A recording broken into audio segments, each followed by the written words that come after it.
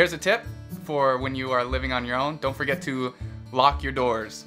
One funny story I have, it all started, it's about like a month of me living inside this place. When I went to the grocery store, I come back with all my groceries in my hand and I'm fumbling for my keys and when I finally like get the house key, I realized that the door was unlocked the whole time.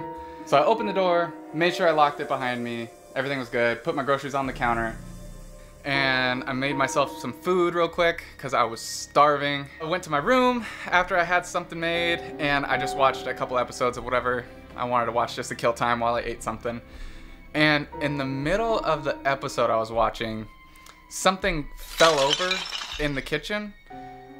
So I went into the kitchen to see what was up, and everything was fine. It was really, really weird. But I looked inside my grocery bag because that was the only thing that I moved. And it turns out that the bread was open.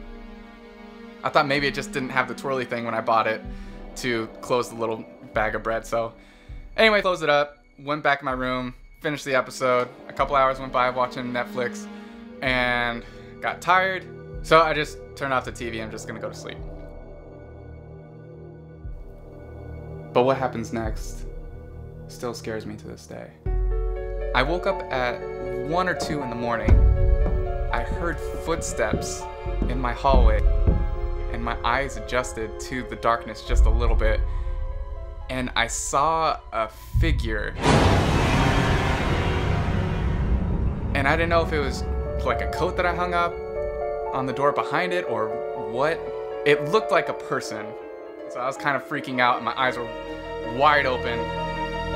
I didn't want to make a noise, so I was staring at it for 15 minutes. For no reason at all, I saw the figure move and the door slowly shut and I heard footsteps leave, unlock my door, and then walk out and shut the door. So I could not go to sleep the entire night. And as it started to become morning, it got a little bit brighter in the room, and I was able to see my surroundings. I noticed that at the edge of my bed was a perfectly made sandwich. So, just letting you know, funny story, you should probably lock your doors. Anyways, take care, have a good one. Maybe we'll hang out and see you in your new place.